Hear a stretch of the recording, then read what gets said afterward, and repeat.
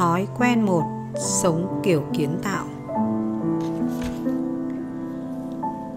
Những nguyên lý về lựa chọn cách sống Không có điều gì đáng khích lệ hơn là khả năng của con người trong việc nâng tầm bản thân bằng quá trình nỗ lực có ý thức.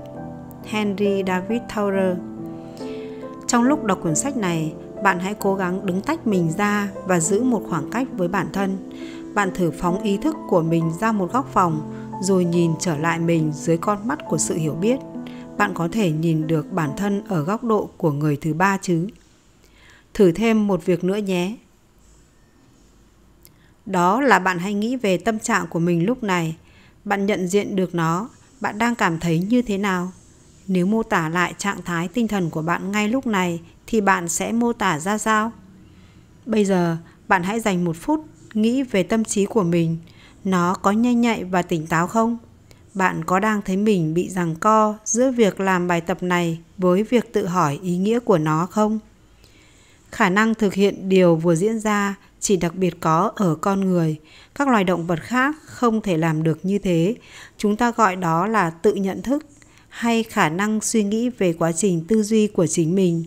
Đó là lý do tại sao con người là loài thống trị trên thế giới và tạo ra những bước tiến vượt trội từ đời này sang đời khác. Đây là nguyên do vì sao chúng ta có thể nhận định và học hỏi từ kinh nghiệm của người khác cũng như của chính mình. Và cũng là nguyên nhân cho phép chúng ta tạo ra hoặc phá vỡ những thói quen của bản thân.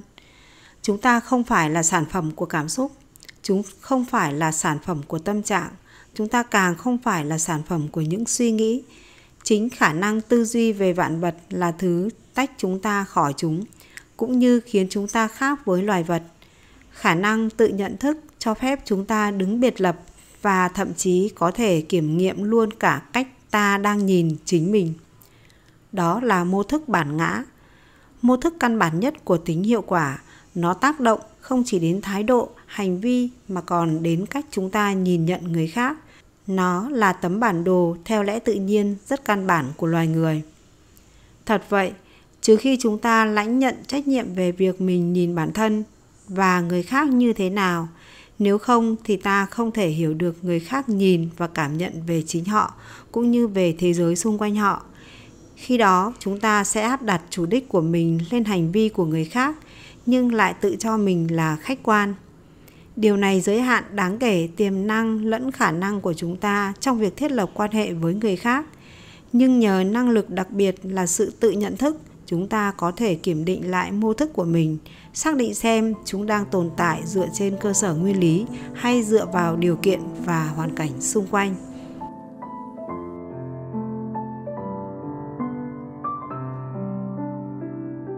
Lăng kính xã hội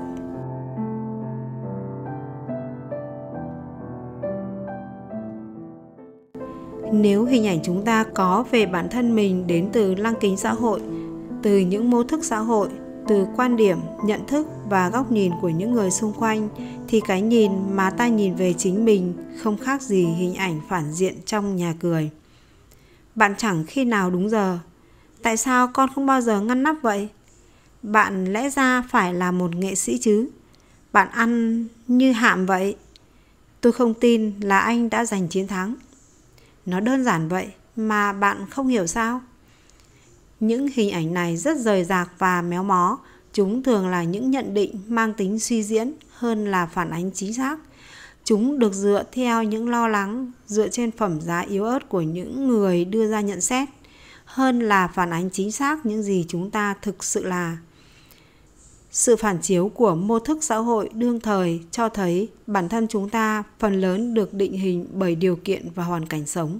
Tuy nhiên, việc thừa nhận sức ảnh hưởng mạnh mẽ của chúng với việc chấp nhận rằng chúng ta bị định hình bởi chúng và không thể kiểm soát lại sức ảnh hưởng này là lại một chuyện hoàn toàn khác. Có ba loại bản đồ xã hội, ba học thuyết quyết định được thừa nhận rộng rãi, đứng độc lập hoặc kết hợp với nhau – để giải thích về bản tính của con người. Nó bao gồm thuyết gen quyết định cho rằng bản tính con người được di truyền từ tổ tiên. Vì sao bạn dễ nóng giận như vậy? Đó là bởi vì tổ tiên của bạn có tính nóng giận và điều đó nằm trong nhiễm sắc thể ADN của bạn. Nó được truyền qua nhiều thế hệ và bạn thừa hưởng điều đó. Ngoài ra, nó cũng nói lên rằng giả sử bạn là người Ireland, thì bản tính của dân tộc Ireland cũng là bản tính của bạn. Thuyết tâm lý quyết định cho rằng bản tính của bạn do cha mẹ truyền lại. Những gì bạn được dưỡng dục từ thời thơ ấu sẽ tạo nên khuynh hướng và phẩm giá của bạn. Nó giải thích vì sao bạn ngại ngùng khi đứng trước đám đông. Đó là do cách nuôi dưỡng của cha mẹ bạn. Bạn cảm thấy mình thật tồi tệ nếu mắc lỗi vì bạn nhớ lại những cảm xúc mỗi khi bị tổn thương hay dựa dẫm người khác. Bạn nhớ đến những hình phạt lúc bị khước từ hay bị so sánh với những đứa trẻ khác khi bạn không thể hiện được như người lớn mong đợi. Thuyết môi trường quyết định cho rằng bản tính của bạn do tác động bởi ngoại cảnh, sếp, vợ, chồng, bạn bè hoặc do điều kiện kinh tế, chính sách nhà nước, một hay đó hoặc một điều nào đó trong môi trường sống phải chịu trách nhiệm cho tình trạng của bạn. Cả ba tấm bản đồ này dựa trên lý thuyết kích thích, phản ứng mà chúng ta quen thuộc với thí nghiệm ở loài chó, gọi là phản xạ có điều kiện của Pavlov. Nguyên tắc cơ bản ở đây là chúng ta bị điều kiện hóa để phản ứng lại theo một cách thức nhất định với một tác nhân kích thích cụ thể. Bạn thấy các tấm bản đồ học thuyết ở trên miêu tả chính xác lãnh thổ không? Những lăng kính ấy phản chiếu bản tính của con người ra sao? Có phải chúng là những lời tiên đoán tự trở thành hiện thực? Chúng có dựa trên những nguyên lý bên trong bản thân bạn. Điều gì nằm giữa yếu tố kích thích và phản ứng? Để trả lời câu hỏi trên, tôi muốn chia sẻ với bạn một câu chuyện kể về Viktor Frankl. Frankl là một nhà tâm lý học người Do Thái theo trường phái phân tâm Frankl. Đó là trường phái cho rằng bất kỳ điều gì xảy đến với bạn khi còn nhỏ sẽ định hình nên bản tính và tính cách về cơ bản chi phối toàn bộ cuộc đời bạn mọi giới hạn và chỉ số đo lường cuộc đời bạn đã được thiết lập có thể nói là bạn không thay đổi được gì đáng kể nữa Frankl cũng là một nhà tâm thần học ông từng bị giam trong các trại tập trung của Đức Quốc xã, nơi ông trải qua những điều khủng khiếp, vô nhân đạo đến mức chỉ nhắc lại thôi, người ta cũng thấy dùng mình ớn lạnh cha mẹ, em trai và vợ ông đã chết ở đó và bị chuyển xuống các hầm khí. Chỉ còn mỗi ông và cô em gái sống sót. Bản thân Frankl đã chịu biết bao trò tra tấn và sỉ nhục. Ông không biết mình sẽ bị đưa đến lò thiêu bất cứ lúc nào hay may mắn nằm trong số những người được sống để làm dọn xác hoặc xúc cho những người xấu số kia. Một ngày nọ, trần chuồng và đơn độc nằm trong phòng giam, ông bắt đầu nhận thức ra điều mà sau này ông gọi là tự do cuối cùng của con người. Sự tự do mà bọn cai ngục quốc xã không thể tước lấy, chúng có thể kiểm soát hoàn toàn môi trường, làm mọi thứ chúng muốn trên cơ thể ông. Nhưng là một người có năng lực tự nhận thức, ông nhìn hoàn cảnh của mình từ góc độ của một người quan sát tách biệt. Bản ngã của ông đã không bị chạm đến trong sâu thẳm, tự ông có thể quyết định những chuyện xảy ra sẽ tác động thế nào đến mình.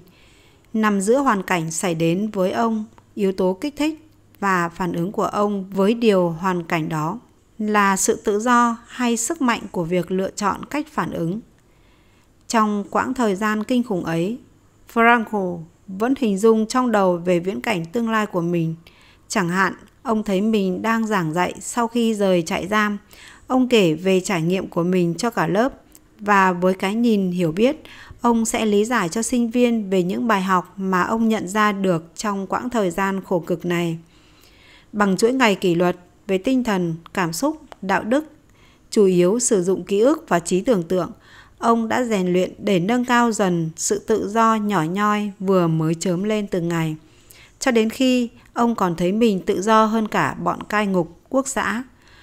Bọn chúng tuy có quyền hành ở vị thế đó, nhưng ông mới thực sự là người tự do hơn. Ông có sức mạnh nội tại để đưa ra các lựa chọn cho mình. Ông trở thành nguồn cảm hứng đối với những tù nhân xung quanh, thậm chí với một số viên cai ngục. Ông giúp người khác tìm ra ý nghĩa trong nỗi đau họ đang chịu đựng, tìm ra phẩm hạnh cao quý trong hoàn cảnh tù đầy.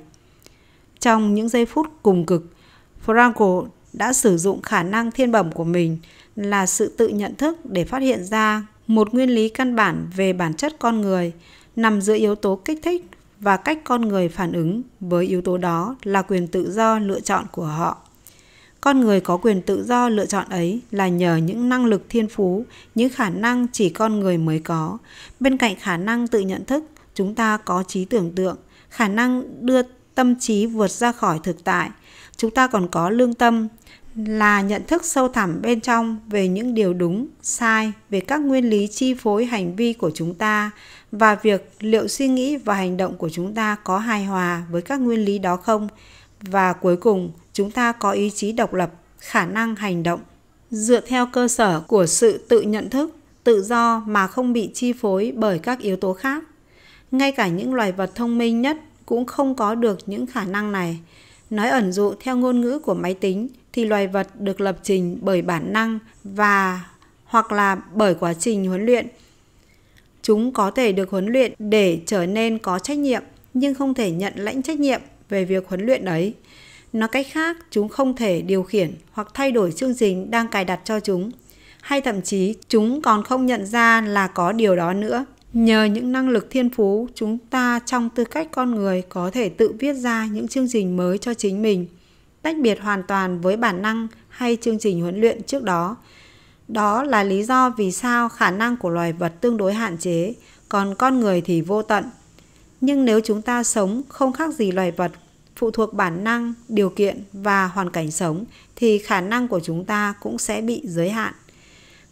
Các học thuyết về yếu tố quyết định chủ yếu xuất phát từ việc nghiên cứu các loài vật như chuột, khỉ, chim bồ câu, chó và những người mắc rối loạn thần kinh.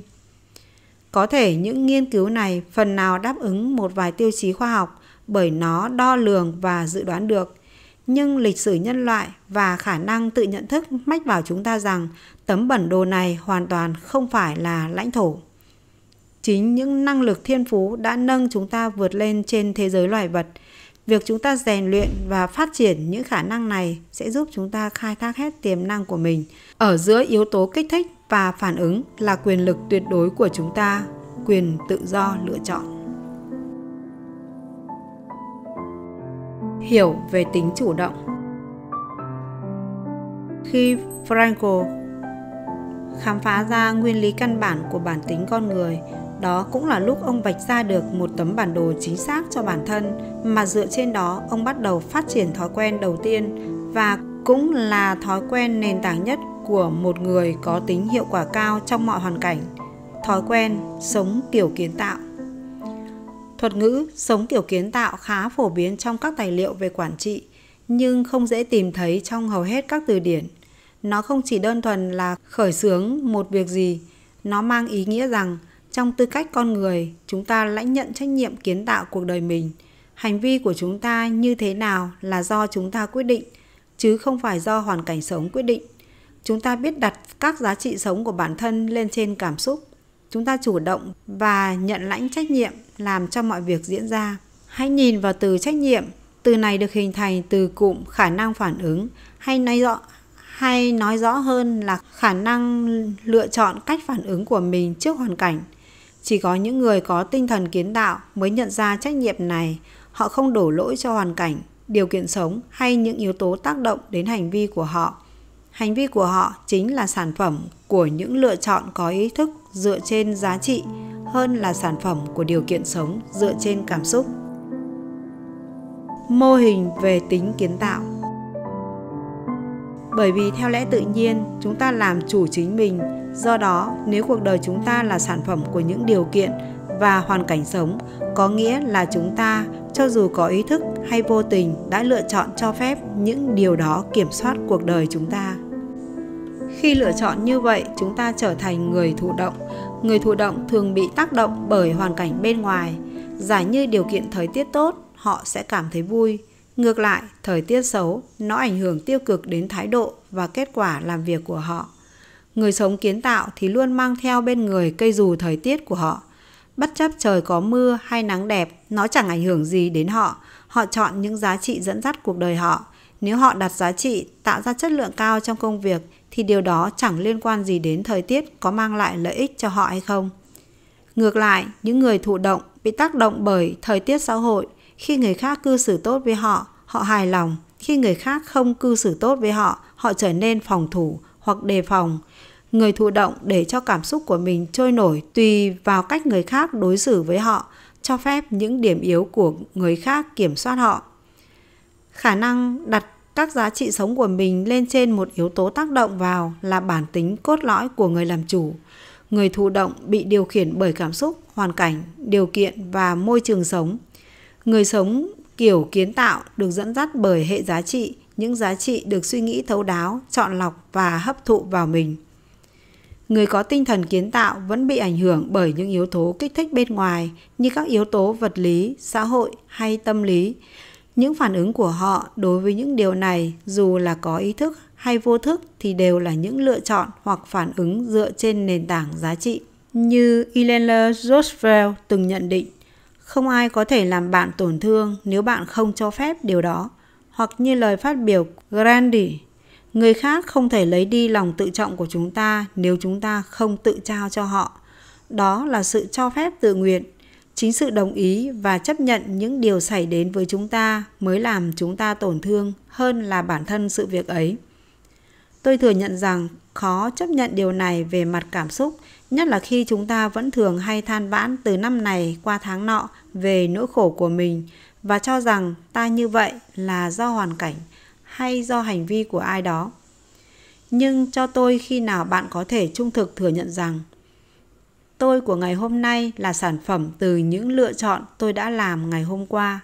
Thì khi đó bạn cũng đủ tư cách để nói tôi có quyền lựa chọn khác. Có một lần tại Sacramento khi tôi đang trình bày về chủ đề sống kiểu kiến tạo thì một người phụ nữ trong số cử tọa tham dự hôm ấy tự, tự dưng đứng bật dậy và phát biểu đầy xúc động. Đó là một buổi có rất đông người tham dự và khi nhiều người quay sang nhìn, cô chợt giật mình về hành động của mình và ngại ngùng ngồi xuống. Nhưng dường như không thể kiềm lại được, cô tiếp tục chia sẻ với những người ngồi xung quanh. Có vẻ cô đang rất hạnh phúc. Phản ứng đó khiến tôi nóng lòng, mong đến giờ giải lao gặp cô xem có chuyện gì. Đến khi giải lao, tôi bước xuống chỗ cô, hỏi thăm liệu cô có thể chia sẻ với tôi. Cô phân trần, ông không thể nào hình dung nổi điều gì vừa xảy ra với tôi đâu. Tôi là một y tá đang chăm sóc cho một bệnh nhân khốn khổ và vô ơn nhất mà ông có thể tưởng tượng. Không có điều gì tôi làm mà ông ấy cho là đủ tốt cả. Ông ta chẳng khi nào thể hiện lòng biết ơn dành cho tôi, thậm chí còn không thừa nhận tôi nữa. Ông ta lại nhải suốt, bắt bẻ đủ mọi thứ tôi làm cho ông ấy. Người đàn ông này làm khổ đời tôi, khiến tôi đem cả bực bội về nhà. Các y tá trước đây cũng có tâm trạng tương tự khi chăm sóc ông ta. Nhiều khi chúng tôi chỉ cầu cho ông ấy chết sớm cho rồi. Vậy mà khi nãy ông dám nói thẳng với tôi rằng không ai có thể làm tôi tổn thương nếu tôi không cho phép điều đó. Và chính tôi, chứ không phải ai khác, đã lựa chọn một đời sống đau khổ và bất hạnh. Vâng, ông thấy đó, tôi không còn cách nào khác cả.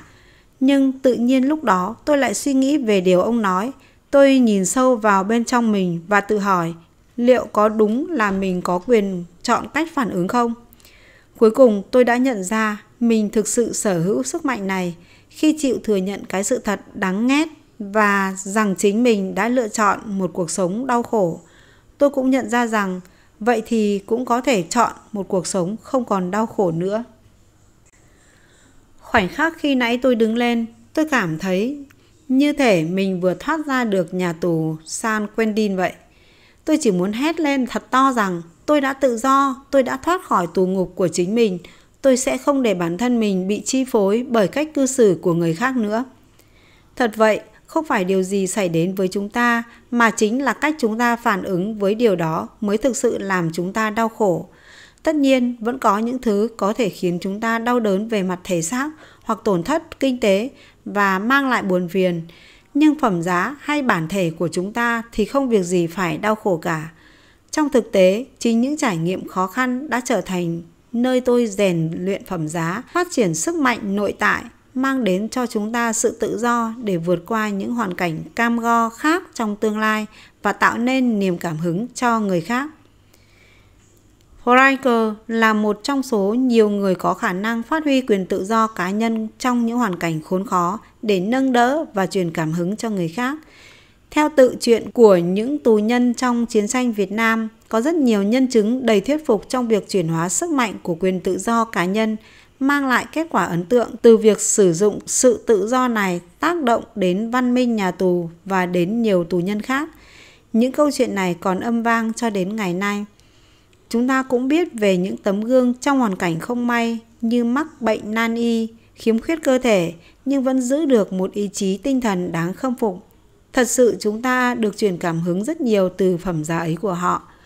Không gì để lại ấn tượng mạnh mẽ và lâu bền trong chúng ta bằng việc biết rằng ai đó đã vượt qua nỗi đau, vượt qua những hoàn cảnh cùng cực là hiện thân và minh chứng của những giá trị truyền cảm hứng khiến cuộc đời trở nên cao quý và đáng sống hơn. Một trong những quãng thời gian ý nghĩa nhất mà Sranra và tôi từng có đó là hơn 4 năm chia sẻ với Carot, một người bạn thân của Sandra hơn 25 năm, cũng là phụ dâu trong đám cưới của chúng tôi. Carol bị ung thư và đã di căn. Khi bệnh tình của Carol ở giai đoạn cuối, Sandra dành thời gian ở bên cạnh giường bệnh của Carol để giúp cô viết hồi ký cá nhân. Trở về từ khoảng thời gian khó khăn dài đằng đẵng đó, Sandra gần như bị choáng váng bởi niềm khâm phục dành cho bạn mình về sự dũng cảm và khát khao của cô để viết ra những lời nhắn gửi đặc biệt dành tặng cho những đứa con của mình trong từng giai đoạn khác nhau của, của cuộc đời chúng. Carol cố gắng không dùng nhiều thuốc giảm đau để duy trì cao nhất sự minh mẫn về tinh thần và cảm xúc. Cô thì thầm vào máy ghi âm hoặc nói với Sandra để Sandra chép lại. Carol quả thực là một người sống kiến tạo, dũng cảm và biết quan tâm đến người khác. Cô là nguồn cảm hứng to lớn cho chúng tôi và nhiều người xung quanh. Sẽ không bao giờ tôi quên được ánh mắt của Carol trước ngày cô ra đi. Một ánh mắt ẩn sâu là nỗi đau của một con người có sức mạnh nội tâm vô cùng to lớn. Tôi có thể cảm nhận được trong ánh mắt ấy là một cuộc đời đầy phẩm giá, tinh thần cống hiến và phục vụ trong tình yêu, sự quan tâm và lòng biết ơn. Nhiều năm sau đó, trong những cuộc trò chuyện với mọi người, tôi thường hỏi rằng đã có bao nhiêu người từng chứng kiến một con người có thái độ sống đẹp, có một tình yêu và lòng chắc ẩn bao la và một sự tận hiến cho cuộc đời ngay cả ở giây phút cuối cùng. Thường có khoảng một phần tư số người đã từng chứng kiến điều đó, rồi tôi lại hỏi trong số họ bao nhiêu người sẽ không bao giờ quên những con người ấy hay bao nhiêu người cảm thấy mình được truyền cảm hứng để cải biến bản thân trở nên tốt đẹp hơn trong hành xử. Được đánh động lòng chắc ẩn bởi tấm gương dũng cảm ấy dù chỉ là tạm thời Tất cả họ đều nhất trí điều đó. Victor Frank cho rằng có ba loại giá trị trung tâm của cuộc đời, đó là giá trị kinh nghiệm là những gì xảy đến với chúng ta, giá trị sáng tạo là những gì chúng ta tạo ra trong thực tại và giá trị thái độ là phản ứng của chúng ta trước những hoàn cảnh khó khăn, chẳng hạn như mắc bệnh nan y.